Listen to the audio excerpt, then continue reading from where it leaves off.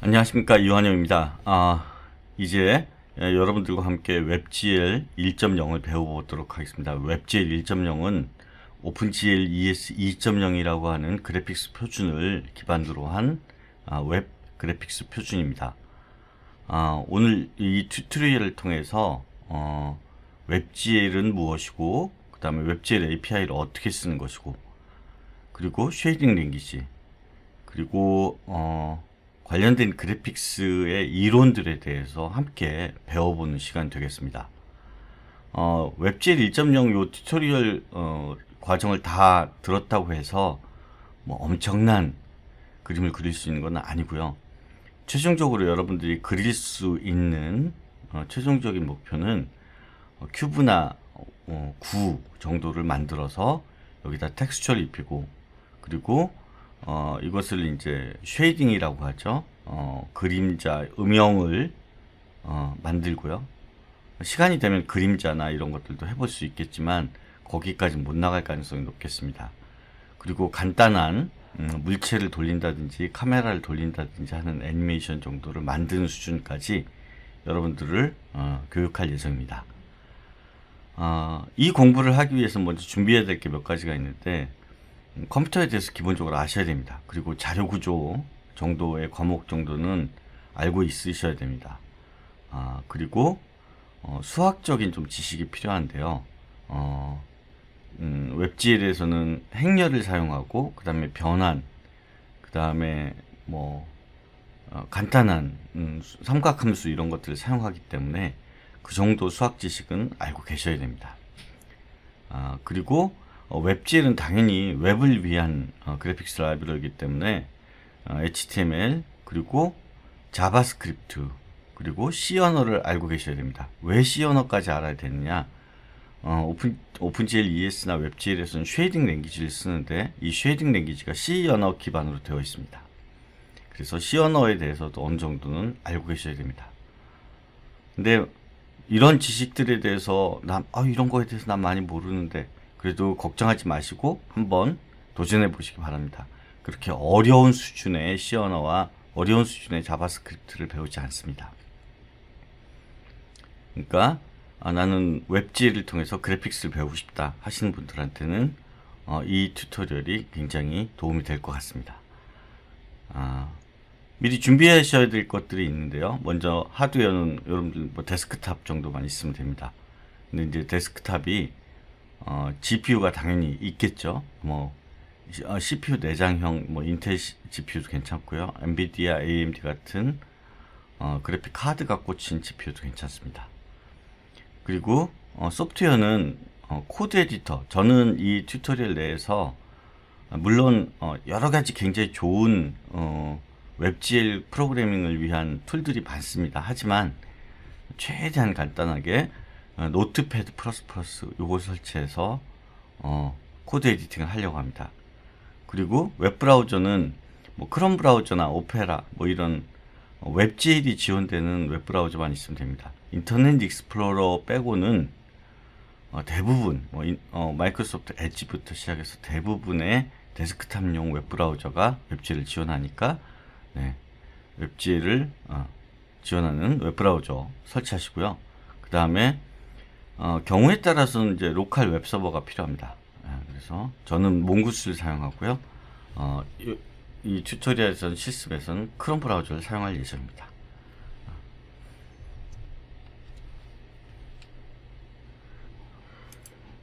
네. 어, 코스의 내용은 이런 것들을 할 겁니다. 준, 오늘 이 준비, 어, 코스 준비 오리엔테이션이고요. 그 다음에 파이프라인이란 무엇인가 배울 거고요. 그 다음에 가장 간단한 삼각형을 그리는 프로그램을 놓고 프로그램 전체를 한번 훑어볼 겁니다. 그리고 그 vertex buffer object라고 하는 것들을 배우고요. vertex attribute, primitive assembly, shading language를 배우고 그 다음에 transform을 배울 겁니다. 아, transform에서는 glMatrix.js라고 하는 모듈을 사용할 건데 요거에 대한 특별하게 따로 강의도 해드리겠습니다. 그 다음에 view transform, projection transform, 그 다음에 fragment operation들 그리고 텍스처, 애니메이션, anti-aliasing에 대해서 배울 예정입니다. 제가 추후에 이 tutorial 어, 이 다 끝나면 음, 좀 더 복잡한 bump mapping이라든지 어, shadow casting이라든지 non-photorealistic rendering 이런 것들에 대해서도 어, WebGL을 써서 하는 방법을 어, tutorial을 만들 예정에 있습니다. 예정입니다. 그리고 WebGL 2.0이 가장 최신 버전인데 WebGL 2.0 tutorial도 어, 만들 계획을 갖고 있습니다. 나중에 제가 업로드가 되면 제 채널을 계속 어, 모니터링 하시면 업로드가 되면 아실 수 있겠습니다. 개발 툴 setup하는 겁니다. 웹브라우저는 아까 말씀드렸듯이 어, 크롬, 뭐 Edge, Firefox, Safari, Opera 다 괜찮습니다. 어, 내 브라우저가 어, 웹브라우 어, WebGL을 지원하는지 알려면 이 링크를 따라가시면 됩니다. 이 링크를 따라가 보시면 네 이렇게 되어 있습니다. WebGL 3D Canvas graphics라고 나오죠. 그 다음에 제네레 이게 뭐냐면 caniuse.com이라고 하는 사이트인데 내 브라우저가 어떤 기능들을 지원하는지를 보여주는 사이트입니다. 그래서 보시면 이렇게 정리가 되어 있죠. Chrome의 경우에는 WebGL 1.0의 경우에는 네, 어, WebGL 버전 8부터 32, 33, 뭐 이런 것까지 다 지원한다. 어, 떤 기능은 잘 지원하지 않는 게 있는데 그런 건 노트로 만들어 놨습니다. 그리고 Opera Mini에서는 음, 안 되고요. 그 다음에 뭐 예를 들면 이런 것들을 다 볼 수가 있습니다. 아, Internet Explorer 11부터는 WebGL을 지원합니다. 그리고 어, 삼성 어, 핸드폰에서 Galaxy 폰에서 쓰는 13 버전부터 또 WebGL 1.0을 지원합니다. 그리고 나중에 보시면 뭐 WebGL 2.0도 음, 배울 수 있다고 말씀드렸죠. 그래서 WebGL 2.0에 들어가 보시면 네, WebGL 2.0은 지원하는 게좀 적죠. 아까 보시면 Internet Explorer는 아예 지원하지 않고 에지는 다 지원합니다. 그리고 네, Chrome의 경우에도 어, 다 지원하고요. 어, 네, 이렇게 되어 있습니다. 그러니까 어, WebGL 2.0의 경우에는 아, 지원하는 것이 조금 적다라고 이렇게 이해하시면 되겠습니다. 어, 또 WebGL 샘플을 보시려면 WebGL Samples.org에 들어가시면 WebGL 샘플을 보실 수 있습니다. WebGL Samples.org에 들어가시면 굉장히 많은 데모들이 있어요. 제일 유명한 게이 아쿠아리움이죠. 어, 제, 제가 어딘, 어떤 학술 대회에서 이 아쿠아리움 만드신 분의 발표를 들었는데 그렇게 말씀하시더라고. 그러니까 자기가 봤을 땐 전 세계에서 가장 쓸모없는 프로그램이다. 라고 말씀하시더라고요. 그런데 실제로는 이 아쿠아리움 프로그램을 어, WebGL을 구현하는 대부분의 device에서 성능을 측정하는 목적으로 굉장히 많이 쓰입니다. 지금 여기 보시면 초당 60장을 그리고 있고 캔버스의 크기는 1024 x 1024고 어, PC가 총 500마리 있네요. PC 개수를 좀 늘려볼게요. 그럼 당연히 속도가 늘어지겠죠. PC 2만, 2만 마리, 2만 5천, 3만 이렇게 늘리면 늘어납니다. 그리고 예를 들면 그 여기 옵션을 넣어가지고 어, 다양한 어, 설정을 바꿀 수가 있어요. 예를 들면 내가 어, 속도를 좀 빠르게 하고 싶다. 그럼 얘들이 빨리 돕니다. 그죠? 이렇게 음, 이렇게 다양하게 뭐 그림자라든지 반사라든지 이런 것들을 조절하면서 볼 수 있습니다. 그럼 우리 tutorial을 하면 이런 걸 만들 수 있는 건가? 예, 만들 수 있습니다. 만들 수는 있지만 우리 강의 내용에서는 간단한 shading, 그러니까 간단한 음영을 어, rendering하는 것까지만 지원할 예정이기 때문에 이런 것들은 여러분들이 혼자 스스로 제 tutorial 다 배운 후에 혼자 연구해서 만들어 보시길 바라겠어요. 지금 들리실지 모르겠지만 이걸 제가 키는 순간 어, 제 컴퓨터의 GPU가 굉장히 바빠지면서 열이 나기 시작했어요. 그래서 어, 들어보시 이 소리가 들릴지 모르겠지만 어, 팬 소리가 굉장히 크게 들립니다. 그러니까 이렇게 GPU를 많이 사용하게 되면 GPU가 빠르게 돌게 되고 그러면 당연히 예, 열이 나기 때문에 팬이 크게 돌게 됩니다. 네, 이걸 닫아 보겠습니다. 그러면 네 들리실지 모르겠지만 예, 그팬 노이즈가 쭉 줄어드는 걸 알 수 있죠. 네 그리고 local 웹서버가 필요하다고 말씀드렸는데 local 웹서버는 뭐냐면 여러분들이 이제 WebGL로 뭔가를 만드는데 이제 나중에 가면 이제 텍스처 같은 거는 어, JP, JPG 파일이나 PNG 파일 같은 걸 local 파일에다 넣어놓고 이걸 불러다가 텍스처를 입히게 됩니다. 그런데 웹브라우저가 대충 어떤 기능들이 있냐면 local 파일을 읽지 못하도록 이렇게 보안상의 이유로 막아놨어요. 가만히 생각해 보시면 그러, 그런 이, 필요하겠죠. 왜냐하면 어떤 웹서버를 만들었는데 그 웹서버가 웹 웹페이지 안에 내, 내 컴퓨터 안에 들어있는 그림을 마음대로 access할 수 있다? 이거 좀 이상하잖아요. 그죠? 이상하죠. 그렇죠? 그러니까 그런 기능을 못하도록 local 파일을 access하지 못하도록 만들어 놨어요. 그래서 그래서 예, 그런 기능들을 어, 피해서 사용하기 위해서는 자기 웹서버가 필요한 경우가 있습니다. 그러니까 예를 들면 Edge, Microsoft Edge인 경우에는 local에 들어있는 PNG 파일이나 JPG 파일을 가지고 texture mapping하는 게 되더라고요. 그런데 Chrome이나 Opera나 Firefox 같은 경우에는 안 됩니다. 안 되니까 어, 이 크롬 가지고 어, editing을 하고 싶거나 크롬 가지고 작업을 하고 싶으신 분들은 local 웹서버를 설치하는 게 좋습니다. 제일 간단한 방법은 Mongoose라고 하는 게 있어요. Mongoose 웹서버를 Google에서 찾아가지고 설치하시면 그, 그 디렉토리에다가서 Mongoose 웹서버를 실행하면 그 디렉토리가 어, 웹 디렉토리가 됩니다. 그래서 웹브라우저로 접속할 수 있기 때문에 굉장히 편리하게 사용할 수 있어요. 또 간단한 방법 중에는 Chrome에 Chrome의 Web Server for Chrome Extension이라는 프로그램이 있어요. 이렇게 그대로 서치를 하시면 찾을 수가 있어요. URL은 여기 있고요. 요 Chrome Web Web Server for Chrome Extension이라고 하는 확장 프로그램을 크롬 브라우저에 설치하면 또 간단하게 웹서버를 만들 수가 있습니다. 그거 외에도 Visual Studio도 웹서버가 있고 네, 여러 가지 MiniWeb이라든지 이런 웹서버 프로그램들이 많습니다. 그러니까 이런 프로그램들을 설치하시는 것이 작업하는 데 좋다. 이거는 거의 뭐 어, texture lecture니까 한 lecture가 10번쯤 지나간 후에 쓰는 거니까 당장은 설치하지 않으셔도 됩니다. 그리고 JavaScript를 꼭 알고 계셔야 돼요. JavaScript 프로그래밍 하는데 좋은 거는 당연히 뭐 Visual Studio로 할 수도 있고요. Eclipse로도 할 수 있습니다. 근데 저는 Notepad Plus Plus나 또는 Visual Studio Code를 씁니다. Visual Studio Code는 사실은 이게 그 Atom 에디터를 가지고 만든 거죠. Atom 에디터와 같은 기반의 같은 기반의 에디터인데 아, 이 이걸 사용하면 다양한 extension 확장 프로그램을 붙여줄 수 있어요. 그걸 보면 스, 버, 저 Visual Studio Code에 가면 WebGL extension이 있습니다. Notepad Plus Plus도 WebGL에 대한 어, 모듈들이 이미 이렇게 기본적으로 박혀져 있어요. 그래서 자기가 어떤 WebGL 명령을 쓰면 자, 명령어들을 자동으로 만들어주거나 하는 기능, 기능들이 Notepad Plus Plus도 있습니다. 아시겠죠? 아까 말씀드렸듯이 크롬 브라우저 필요하고요. 브라우저 필요하고요. 그 다음에 만약에 자가, 자기가 JavaScript에 대해서 잘 모른다 그러면 어, www w3schools.com에 slash js 하면 JavaScript 강좌가 있습니다. 이 JavaScript 강좌는 굉장히 잘 만들어졌어요. 그래서 요 JavaScript tutorial을 공부하는데 한 5시간이면 충분해요.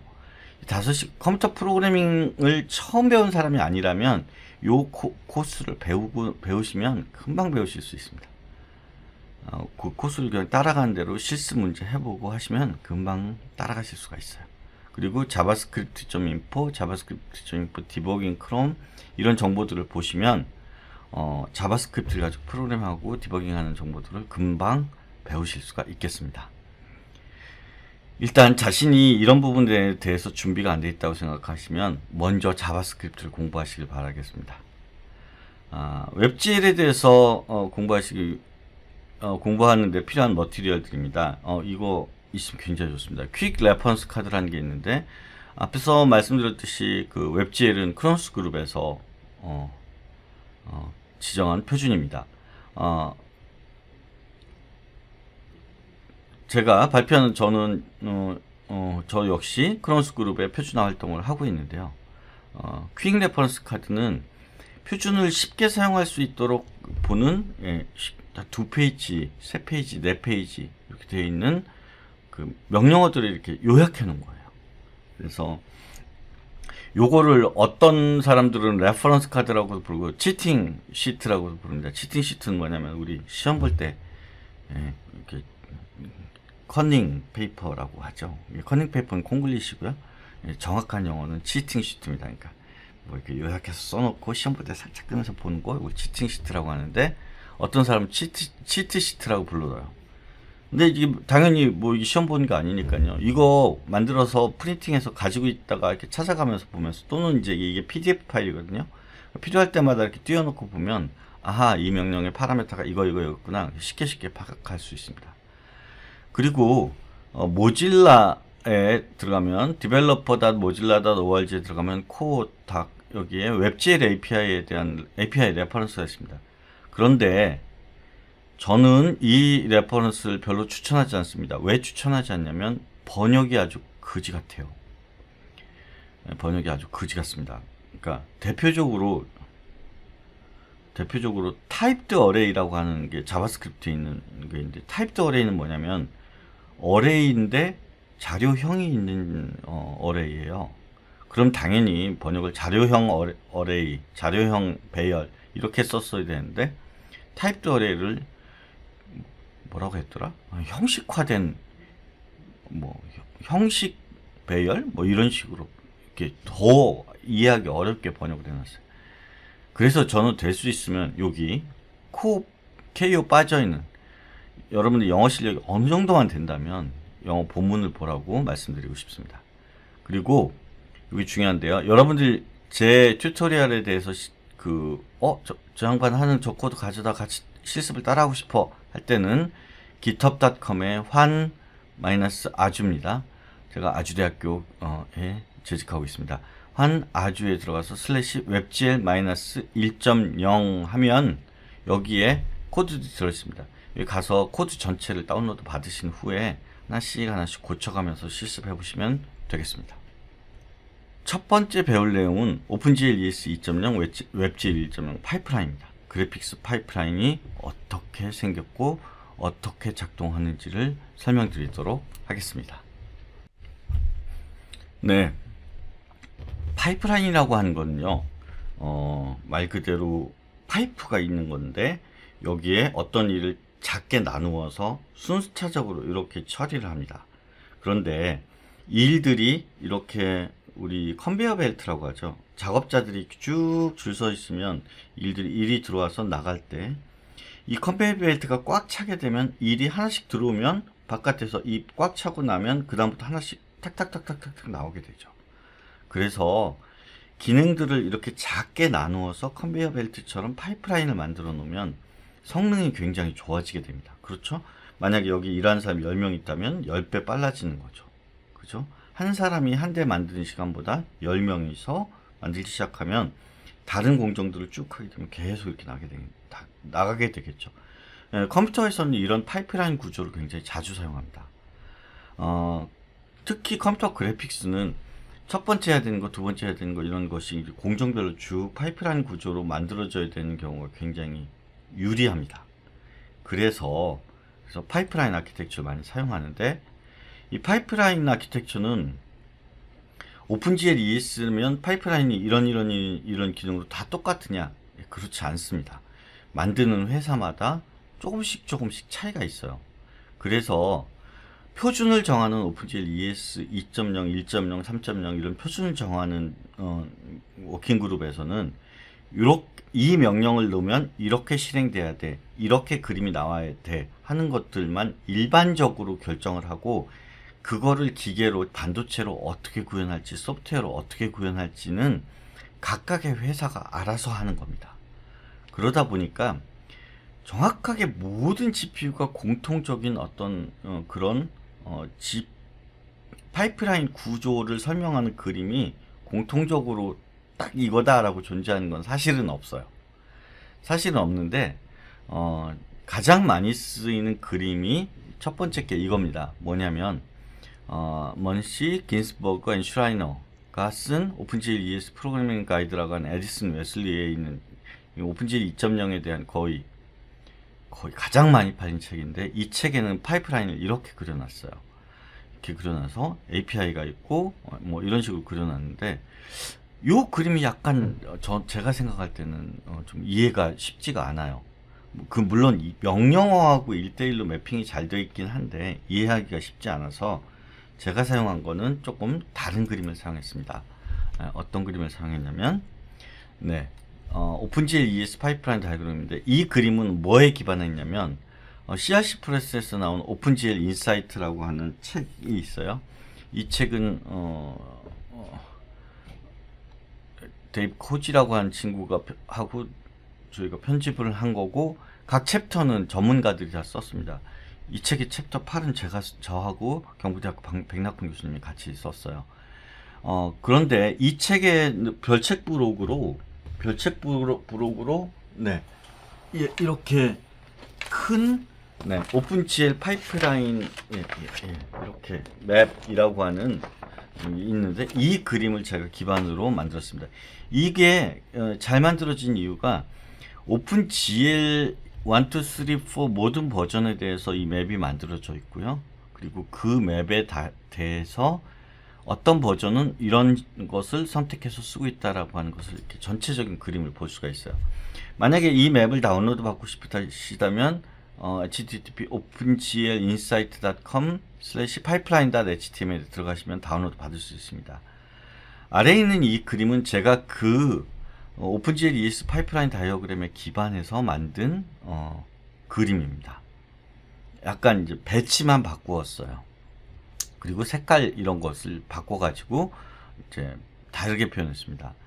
어, 제가 표현한 기, 어, 기, 초 기초적인 룰은 뭐냐면 데이터, 데이터라고 할 수 있는 것들은 이렇게 색깔을 노란색 어, boundary가 있는 박스로 표현했고요.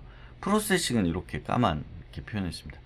제가 이걸 이제 그리다 보니까 파워포인트가 배경이 까만색일 때는 조금 문제가 되더라고요. 그래서 이렇게 바꿨습니다. 그래서 이렇게 초록색 boundary로 되어 있는 건 어떤 processing이고요. 그 다음에 데이터들은 이렇게 노란색 boundary로 쳤습니다. 그래서 기본적으로 기본적으로 파이프라인이 어떻게 흘러가는지를 설명을 드리도록 할게요. 그런데 지금 이거를 제가 설명했을 때 어, tutorial 첫 번째 시간부터 너무 어려워 라고 생각하시고 포기하지 마세요. 왜냐면 이것의 각각의 기능들, 각각의 기능들을 켜고 끄고 데이터를 보내는 방법들을 그 다음 첫 번째 수업부터 배우시게 되니까 지금 겁먹을 필요 없어요. 다만 흐름이 이렇게 흘러가는구나 라고 이해하시면 되겠습니다. 첫 번째 우리가 이제 앱을 짜죠. WebGL로 앱을 만듭니다. 그러니까 HTML이나 이런 뭐 JavaScript로 앱을 짜게 되고 그 앱에서 WebGL API, application programming interface를 호출하게 됩니다. API로 호출하게 되는데 일부 기능들은 일부 기능들은 이 API가 가지고 있는 것이 아니라 시스템 소프트웨어가 가지고 있어요. 예를 들면 예를 들면 내가 어, 웹 화면의 어떤 부분에다 무엇을 그릴 거야 라고 하면 어, 첫 번째 단계가 캔버스를 요청하는데요. 캔버스는 누가 가지고 있냐면 웹 브라우저가 가지, 권리를 가지고 있어요. 근데 웹브라우저는 당연히 그 권리를 누구한테 요청한 거냐면 operating system, MS 윈도우나 iOS나 그런 operati 리눅스나 이런 operating system한테 요청한 거거든요. 그 operating system이 GPU한테 음 화면에 이 부분을 쓰세요라고 권한을 주고 한 거기 때문에 그런 화면에 대한 권한 이런 것들은 시스템 소프트웨어와 API 그 다음에 뭐 경우에 따라서 하드웨어까지 같이 동원이 돼서 협력해서 주, 권한을 주고받아야 됩니다. 그래서 이쪽 부분에서는 협력을 통해서 시스템들이 자원을 분배하고 하는 일들을 어, 여기서 하게 됩니다. 그러고 나면 API를 호출하게 되면 무슨 일들을 하게 되면 graphics context라고 하는 것들을 만듭니다. graphics context라고 하는 건 뭐냐면 graphics 어, 파이프라인, graphics machine은 이렇게 돌아요. 내가 음, 이제부터 이 데이터를 그릴 거야 라고 데이터를 보냅니다. 그리고 빨간색으로 그릴 거야, 노란색으로 그릴 거야. 그 다음에 뭐 이런 거는 이렇게 그릴 거야. 어떤 어떤 모드를 켤 거야, 끌 거야, 끌 거야. 뭐 그리고 frame buffer에다 그릴 거야, 어디다 그릴 거야. 이런 상태들을 쭉 정한 다음에 그려라 라고 draw 명령을 칩니다. draw 명령을 시, 실행하면 그 전까지 지금 제가 말했던 여러 가지 상태들이 여기 쭉 저장이 돼요. 그 저장되는 상태를 뭐라고 하냐면 context라고 부릅니다. 당연히 우리 컴퓨터 그래픽스로 웹GL로 컴퓨터 그래픽스를 하고 있으니까 graphics context가 되겠죠. context를 저장해 놓고 그려 하면 그리게 되는 겁니다. 그리고 다른 그림을 그리고 싶으면 예를 들면 context 일부 변경해서 그려 하게 되는 거죠. 그려 하면 그려라고 한 명령을 실행하게 되면 이제 이 파이프라인이 실행되게 됩니다. 그래서 첫 번째 단계가 vertex processing이라고 하는 거고요. 두 번째가 primitive processing, rasterization, texture processing, fragment processing, 픽셀 processing이란 걸 해요. 그러면 각각에서 어 그래서 그래서 결과는 어디에 저장되냐면 프레임 버퍼. 버퍼라고 하는 거는 컴퓨터에서 얘기하는 버퍼는 항상 메모리입니다. 그리고 메모리 앞에 프레임이 붙어 있으면 어떤 사람은 이 프레임 버퍼를 프레임 버퍼 띄우지 않고요. 프레임 버퍼로 붙였습니다. 네? 그러면 그 메모리에 이미지가 저장됐다고 비트맵 이미지가 저장됐다고 생각하시면 됩니다. 그러면 각각의 각각의 processing unit에서 무엇, 무엇을 하는지를 이제 알려드릴게요. 네. 첫 번째 단계에 어, 일단 우리가 처음에 시작했는데 이미 프레임 버퍼에 이런 그림이 그려 있다고 가정을 할게요. 바탕 색깔은 약간 노란색으로 연두색 원과 어, 이렇게 마젠타색 원을 이렇게 동그랗게 동그랗게 그려져 있는 상태예요. 그죠? 이 상태에서 그 다음 그리고자 한 게 제가 삼각형을 그리고 싶어요. 그래서 삼각형 vertex 데이터들을 여기다 vertex 버퍼에다가 집어넣습니다. vertex 버퍼에는 데이터가 두 종류가 들어가는데요. 하나는 array고 하나는 element인데 이거 따로 다 설명할 겁니다. 그래서 음, 나는 지금부터 삼각형을 그릴 거야. 그럼 vertex가 3개겠죠. 꼭지점 vertex가 3개가 들어가게 됩니다. 그럼 vertex processing은 무엇을 하게 되냐면 이 버텍스의 위치와 속성들을 결정하기 위한 위한 데이터들은 vertex 버퍼에 들어갔고 이것을 조정하기 위한 프로그램이 들어갑니다. vertex shader라고 하는 프로그램을 여기다 집어넣어요. 어, OpenGL ES 2.0, WebGL 1.0에서 프로그램이 두 가지가 필요한데 vertex shader와 fragment shader입니다. 두 개의 프로그램이 필요합니다. 두 개의 프로그램을 짜서 C로 짠다고 그랬어요. 짜서 프로그램을 vertex shader와 fragment shader에다 집어넣어요. 그러면 이 프로그램이 vertex processing 할 때 processing 하는 프로그램으로 작동해서 무슨 일을 하게 되면 vertex의 위치와 속성을 결정하게 됩니다. 보면 빨간 점이 이쪽으로 갔고 초록색이 이쪽 점으로 갔고 이렇게 이동을 했네요. 그리고 어, 뭐, 그리고 여기 속성으로 빨간색, 초록색, 어, 파란색 이런 것이 들어왔는데 그런 정보들을 나중에 어디다 전달해 주냐면 이 fragment shader한테 음, 이 vertex의 색깔은 무슨 색깔이야? 이 vertex의 색깔은 무슨 색깔이야? 이 vertex의 색깔은 무슨 색깔이야? 라고 전달해 줍니다. 전달해 주, 주고 그 결과를 뭘 어디다 전달해 주냐면 예, 이 옮겨진 vertex의 정보들 그리고 vertex의 속성들을 primitive processing해 줍니다. primitive processing은 뭘 하냐면 음 이게 primitive가 삼각형이구나 라고 알고 삼각형을 그립니다. 어 그러면 OpenGL ES에서 그릴 수 있는 primitive 음, 일단 primitive라고 하는 것은 가장 원초적인 모양들입니다. 그러면 예를 들면 굉장히 복잡한 OpenGL ES는 호랑이 그려다 그럼 호랑이 그리냐 그런 건 아니에요. OpenGL ES에서 그릴 수 있는 가장 기초적인 모양은 점, 선, 삼각형 세 개밖에 없습니다. 그럼 호랑이는 어떻게 그리냐? 호랑이를 잘게 잘게 표면을 잘라서 삼각형을 여러 개를 만들어 가지고 그걸 가지고 호랑이를 그리는 거예요. 그러니까 결국에 가서는 어, 삼각형을 어떻게 만들 것인가 그게 primitive processing이에요. 그리고 primitive processing을 하고 나면 하고 나면 이 좌표계가 원래는 원래는 여기서는 사용자 좌표계가 주어졌는데 어, vertex processing을 하고 나면 vertex processing을 하고 나면 좌표계가 어떻게 만들어지냐면 마이너스 1에서 1까지 y 방향도 마이너스 1에서 1까지로 딱 정규화가 됩니다. 마이너스 1에서 1. 그러면 1보다 크면요. 네, 화면 바깥인 거죠. 그죠? 화면 바깥이라기보다는 캔버스 바깥이, viewport 바깥이 되겠습니다. 그런데 primitive processing을 다 하고 나면 결국에 가서는 이게 어떻게 되냐면 예를 들면 이쪽에 웹에서 어, 난 여, 어, 여기 이것의 좌표를 400픽셀 어, 이걸 400픽셀로 할 거야. 그, 높이는 400픽셀, 어, 폭은 400픽셀을 할 거야. 그러면 여기가 0,0이 되고 여기가 400, 400,400이 되는 이 좌표계로 스크린 좌표계라고 부르는데 스크린 좌표계로 바뀌어집니다. 에, 각각의 vertex 위치들 그런 것들이 스크린으로 바뀌고요. 그 다음에 rasterization을 하고 나면 무엇을 만드냐면 어, 삼각형의 내부를 채우는데 삼각형의 내부는 1.0, 외부는 0.0으로 만듭니다. 그런데 내부도 아니고 외부도 아니고 내부도 아니고 외부도 아니고 그런 게 왜 생기나요? 그러니까 여기, 여기 boundary 쪽을 보시면요. 어떤 픽셀 입장에서는 삼각형이 이렇게 스치고 지나갈 수 있었잖아요. 그러면 이때 이 삼각형이 얼마만큼 차지하고 있나 요 비율을 계산해서 넣, 습니다 그런데 OpenGL ES 2.0은 그것을 이 삼각형의 면적을 막 이렇게 계산하고 막 그런 것이 아니라요. 어, multi sampling이라는 걸 합니다. 여기다가 한 점, 두 점, 세 점, 네 점, 다섯, 여섯, 일곱, 여덟 뭐 이런 식으로 뭐 8x 멀티 샘플링을 하면 8점을 찍어서 8점 중에 삼각형의 내부에 있는 게 몇 개인가 세요. 근데 세봤는데 8개 중에 3개가 들어있어요. 그러면 아 이거는 8분의 3이구나 이렇게 계산해 놓습니다. 이걸 뭐라고 부르냐면 coverage라고 불러요. 그래서 rasterization에서는 하는 일은 뭐냐면 coverage를 계산하고요. 그 다음에 그 coverage에 지금 vertex processing을 통해서 vertex의 위치가 정해졌죠. 그러면 그 vertex의 위치에 의해서 만들어지는 삼각형을 이렇게 interpolation, 좌표를 interpolation 하면 삼각형이 만들어질 것이고요.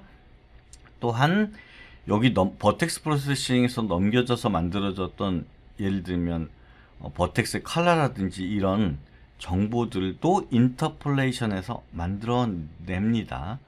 만들어내는데 만들어내는데 주로 rasterization은 coverage만 계산하고 실제로 interpolation은 fragment processing에서 일어나게 됩니다.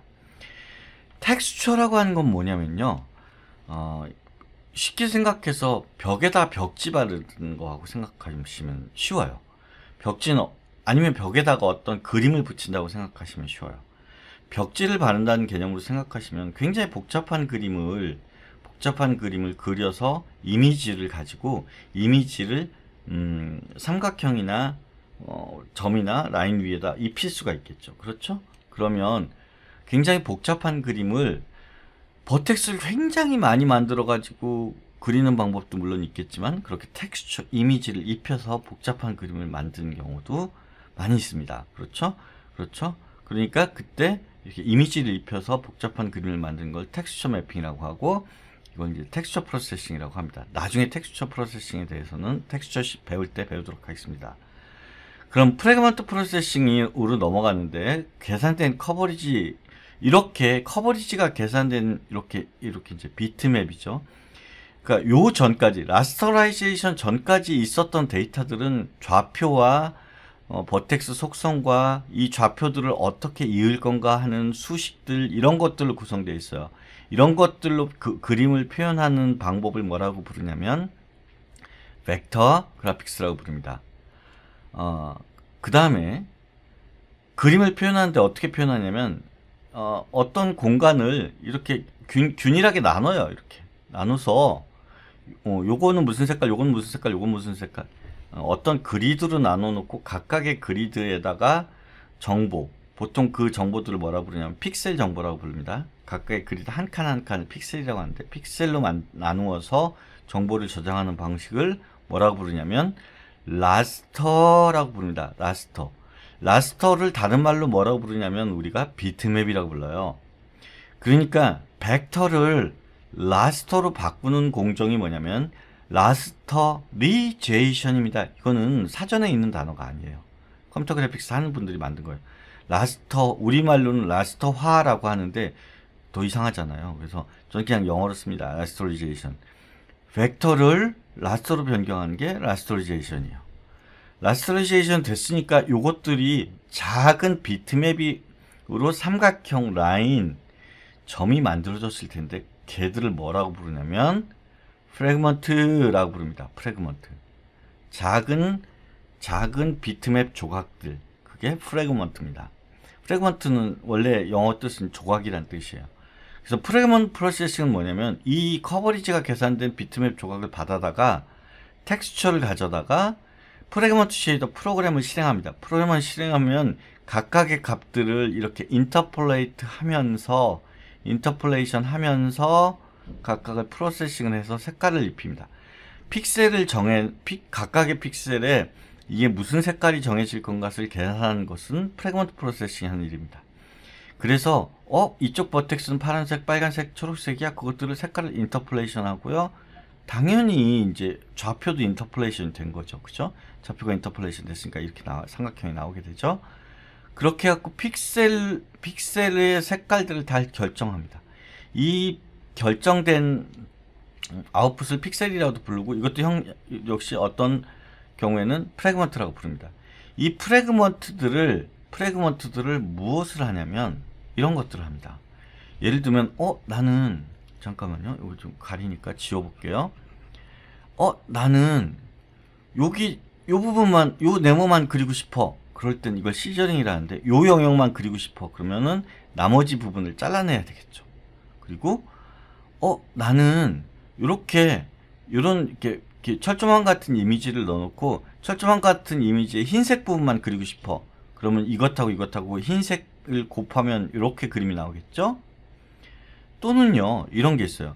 아까, 아까 처음 시작할 단계에서 버텍 그렸는데, 얘는, 여러분 원근법 알죠? 여러분 카메라에서 보면 제 손이 이쪽에 앞에 있고, 카메라에 가까이 있고, 카메라에 멀리 있고, 얼굴은 손보다 멀리 있잖아요.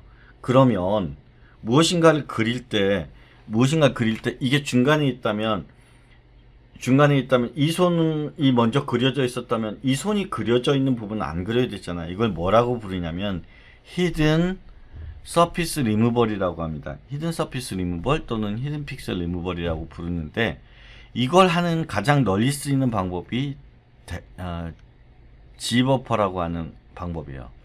깊이 버퍼를 쓰는 방법인데 Z 버퍼 알고리즘을 사용하는데 그럼 각각의 픽셀마다 깊이 정보가 있어요. 예를 들면 요글 보면 하얀색이 가까이 있고 까만색이 멀리 있다라고 하면 예를 들면 이런 것들을 통해서 아 삼각형은 요, 요 핑크색보다는 핑크색보다는 뒤에 있고 이 초록색보다는 앞에 있구나 이런 깊이 정보를 넣어 가지고 아하 여기만 이렇게 그려야 되겠구나 라고 결정한 것을 depth test라고 합니다 요거를 이렇게 rectangle로 사각형으로 모양을 정해서 여기만 그릴 거야 라고 하는 걸 scissoring이라고 하고요.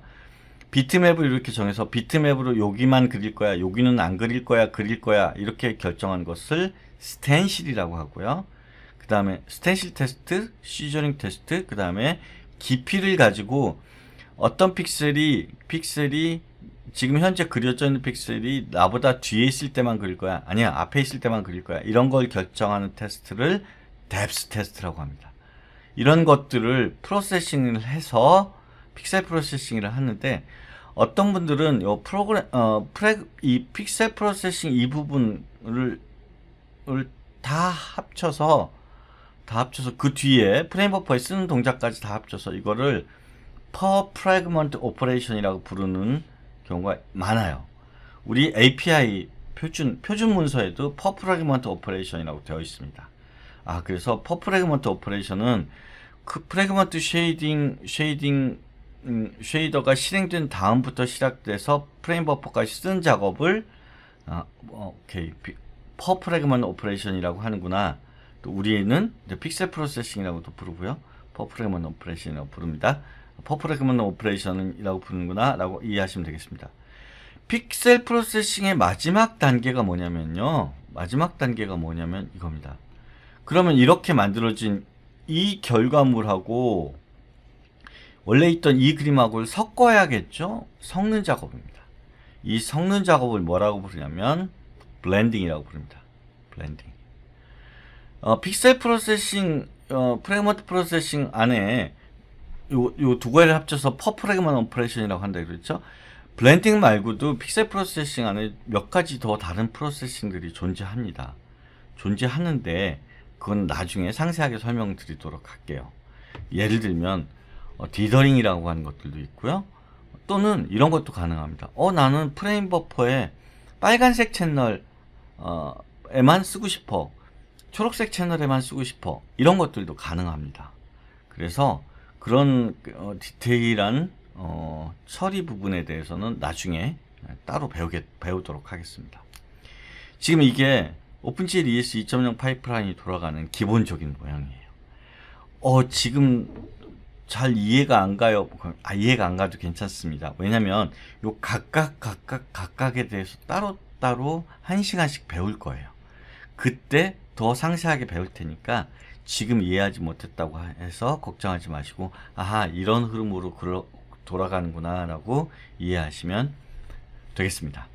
네 오늘 수업 여기까지입니다. 웹질 첫 번째 시간이었는데 어, 쉽지 않은 내용이에요. 어, 겁먹지 마시고 계속 공부하시면 이제 여러분들 웹질 가지고 좋은 그림을 그릴 수 있는 그래프 컴퓨터 그래픽스를 할 수 있게 될 겁니다. 오늘 수고 많으셨습니다. 감사합니다.